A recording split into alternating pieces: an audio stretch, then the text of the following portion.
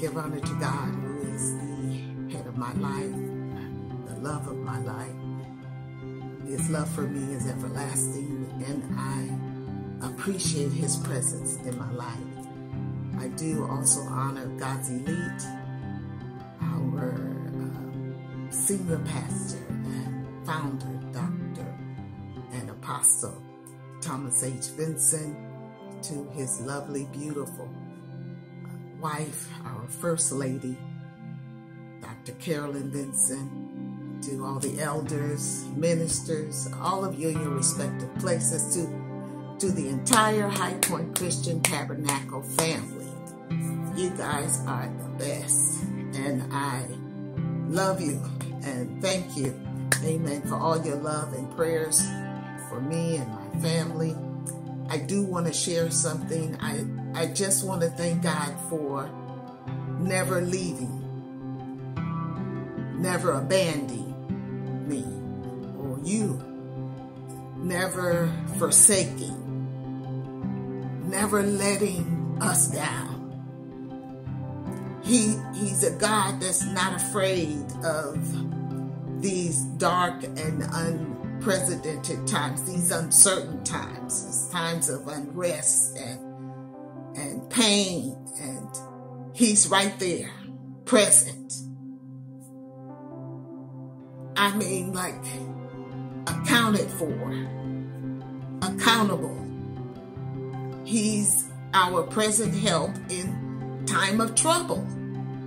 Who wouldn't serve a God like that? And I thank Him because, on one hand, you have pain and sickness and heartache and trouble and you have loss and grief and anguish. And then on the other hand, you got the same thing. Lord have mercy. but he told me that if I bring both of those things together, my hands together, you can see God's scriptures opening up and coming alive by the clapping of my hands. Oh, thank you, Jesus. He's He's good, and He let me know that there's still a praise. There's a praise, and right there in the midst of the praise, He's right there. Oh, God is unfailing. He's forever faithful, and I appreciate a strong and mighty God. So he reminds me of his scriptures that hast thou not known, hast thou not heard that the everlasting God, the Lord, creator of the ends of the earth is.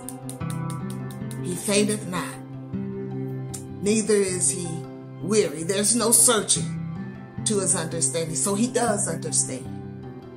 And he reminds me, and I'm reminding you, that there is still a praise in the midst of all of the trouble and anguish. There's a joy of the Lord that strengthens us because his strength is made perfect in our weakness. And we thank God and we praise him for being our God.